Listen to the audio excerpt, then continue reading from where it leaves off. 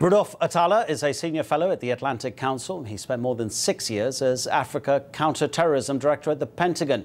He's also a former pilot in the United States Air Force. Rudolph Atallah, thank you very much indeed for joining us from Washington. So the French defense minister says in and out, a couple of weeks, all over. Should we believe him?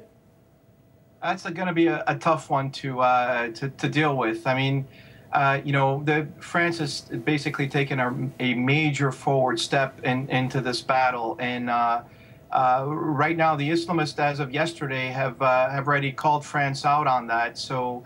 Uh, that's why you have the heightened security everywhere. There, there are many things that have not been considered as we move forward from here, and hopefully, you know, cooler heads will, will prevail to, to think about them. The thing is, this is not Al Qaeda in Afghanistan, is it? This is uh, what the MNLA Tuareg rebels, who are very much domestic based. This is also Ansar Dine linked to Al Qaeda, plus a few other rebel groups. France is clearly hoping that a few military attacks and this rebel alliance will just disintegrate. What do you think? Well, first let me let me delineate because MNLA has no association with Ansar Dine uh, or AQIM or MUJAO or all the other Islam, Islamists. MNLA is clearly a secular movement. Uh, it's predominantly their their focus is on grievances that have not been dealt with since Mali's independence in the 1960s. So all they want is autonomy and, and, and just live in a, in a secular environment in the north.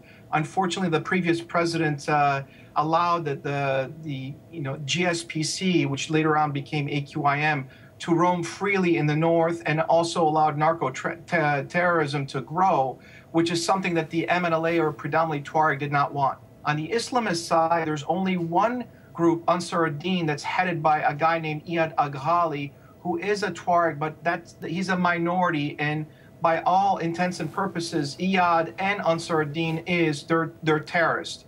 They are 100% in the AQIM camp. So uh, what France is doing uh, it's great that they took a forward step, but there's several things that, that have not been considered. you you cannot break the back of these guys uh, in an air campaign within two weeks. It's just it's not realistic. Um, th there will be an insurgency uh, by by the Islamists. Uh, things to consider: Islamists have been training child soldiers. Uh, they've threatened to attack the capitals of all the countries that will will send forces as an intervention force. Um, you know, they've trenched themselves outside of the main cities of Gao, Kidal, uh, Timbuktu. So, you know, hitting them here and there, yeah, that will cause a little bit of damage, but in the long run, they're not going to break their back. How concerned are you that that desert in the north, uh, in the north of Mali, will start to be used as a training camp, as a base for Ansar Dine and for other Al Qaeda sympathizers, just the way Osama bin Laden and Al Qaeda used Afghanistan? Believe it or not, that boat has already sailed. Uh, that ship has already sailed. That that happened years ago. They've already had uh, some uh, training camps in the north, um, and uh, and they continue. In fact, uh, you know, for, for folks who are interested, go on YouTube and even see some of these uh, some of the advertisements that AQIM and Ansar Dine have already uh, showed uh, their training camps and what they've been doing. So yes, it is a safe haven, and and believe it or not, if we don't deal with it the right way, it's gonna it's gonna make matters worse. And I, am I've always been concerned about this. I've been concerned about this since 2006 and even before. Mali geographically is twice as large as Afghanistan. How much assistance is France going to need? Is it going to need other Western powers to come in with troops? Is it going to need the African Union to come in there and start fighting?